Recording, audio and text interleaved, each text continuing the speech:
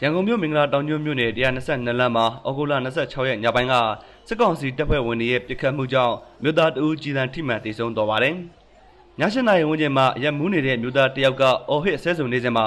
စစ်သားနဲ့ရဲတွေရောက်ရှိလာပြီးလိုက်လံပစ်ခတ်ရာပမောရောင်းနေတဲ့သူတအူးကြီးတန်းထိမှန်ခဲ့တာပါလို့ရက်ကွက်နေအမျိုးသမီးတူကပြောပါတယ်။ပြေးပြေးကြတာပေါ့အဲ့ချိန်မှာအကုန်လုံးကတနက်ကြတော့အကုန်လုံးကထွက်ပြေးကြသူပြေးကိုပြေးပြေးကြတဲ့အချိန်မှာ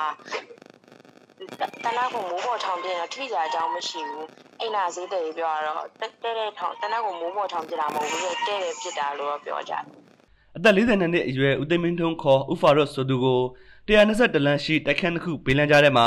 လေပင်တနက်ထိမှန်တိစုံနေတာကိုတွေ့ရှိရကြောင်းမျက်မြင်တွေ့ရှိသူတွေကိုကိုးကားပြီးအဆိုပါမျိုးသမီးကဆက်ပြောပါတယ်။အခြားလူငယ်တူကိုလည်းစစ်သားတွေကဖမ်းခေါ်ကာဒူးထောက်ခိုင်းရိုင်းနှက်ပြီးတဲ့နောက်စကားပေါ်ခေါ်တော့တာကိုတွေ့ရကြောင်းမျက်မြင်သက်သေတွေကပြောပါတယ်။ 122လမ်းဘက်ကနေတရက်တန်၃ချက်ကြားလိုက်ပြီးလူအများပြားပြည့်ထွက်လာတာကိုတွေ့လျရတယ်လို့မျက်မြင်တွေ့သူမျိုးသားတို့ကပြောပါတယ်။122လမ်းဘက်ပေါ့အဲ့အရှိရောက်သွားပြီးတော့122လမ်းဘက်ကနေပြီးတော့လူတွေကပြေးထွက်လာကြတယ်ပြေးထွက်လာပြီးတော့အဲ့မှာအတန်ထက်ကြတယ်၃ချက်နောက်ပိုင်းကျတော့ဘာဘာဖြစ်လဲဆိုတော့သူတို့တည်င်းအတိအကျရတာကျတော့ဟိုဥစားအယမူးသမားနှစ်ယောက်ရန်ဖြစ်နေတာအဲ့ဒါကိုလူအောင်လို့ဆိုပြီးတော့ လူစုခွဲရဆိုပြီးတော့ဖောက်တယ်လို့တော့ပြောတာကြားတယ်တေဆိုးသူရဲ့ရုပ်လောင်းကိုတော့မိသားစုကပြန်လည်ရရှိခဲ့ပြီး